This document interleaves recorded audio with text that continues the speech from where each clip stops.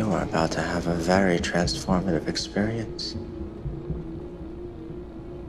I envy you.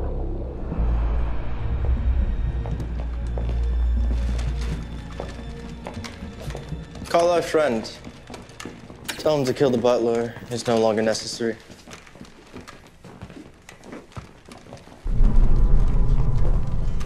Oswald Cobblepot. Barbara Kean. In my stronghold. Not one step closer, Mr. Valeska. And is that my dear jongleur with my core relay in his hand and a grenade taped to his mouth? Indeed, it is. Huh. Huh. It seems you have the upper hand. Undoubtedly. And now, we have our own demands.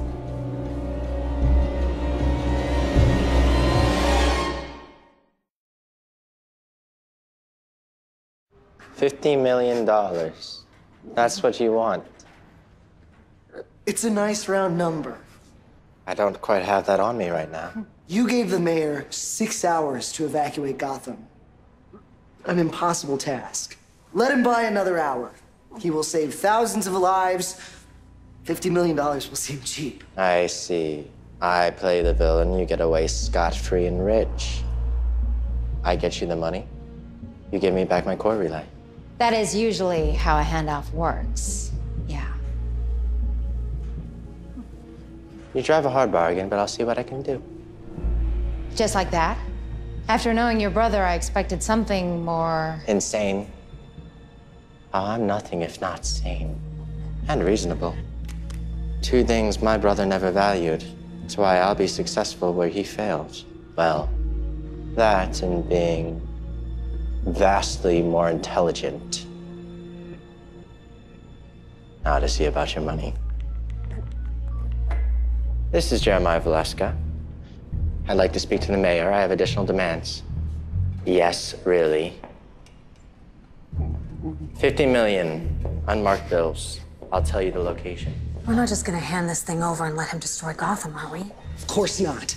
Once we get the money, we kill Jeremiah and his people, give the core relay to the police, split the 50 million, and are hailed as the heroes of Gotham. And we cure Butch. And that, certainly. Would you believe it?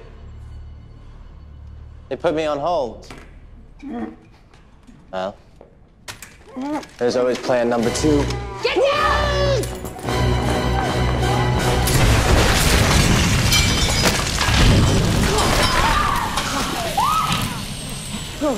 Are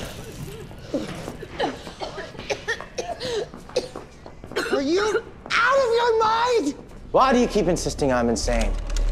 What's insane about having a backup plan? Something Jongleur never knew about. And so you know, this building is within the blast radius, and because of your interference, I'm gonna detonate the bombs as soon as I'm far enough away to observe the destruction in peace. No, you promised the city six hours! And whose fault is it that I changed my mind?